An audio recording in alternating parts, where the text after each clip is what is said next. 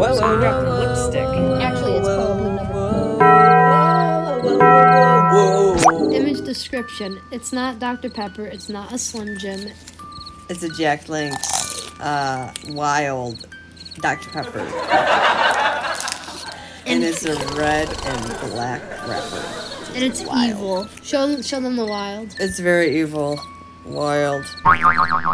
Got it from outside. It smells sweet.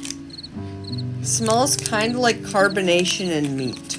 It might be the Cajun because when you bite it, it's sweet, and when you Yeah. chew it, it's a little bit spiced. hmm So